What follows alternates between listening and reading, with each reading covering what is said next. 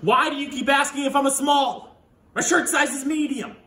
Do I look like I have some sort of Napoleon complex going on to you? well, I'm 5'11", so I'm no Napoleon. What? I'm 5'11".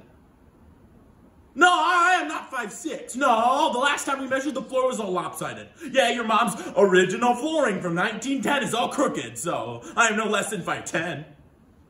That's a pretty good height for a guy, so I'm not complaining. You know what? Get me a large. It'll fit better. Now I know I should be sorry that I killed that young boy. But I just don't feel it. I suppose that's why I could do it. Nothing there to stop me. I sit in the courtroom and I watch the play. When the crowd laughs, I laugh, and when it's time to be serious, I am that way too, but mostly I sit there and I watch you, Dennis. You laugh and smile and yawn and look bored, and so do all the others. Why should I be any different? Why? Why should I be terribly concerned about what happens in this trial?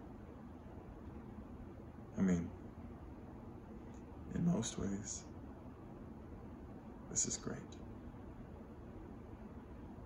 I'm the criminal mastermind. People look when I enter the room. They pause when I speak.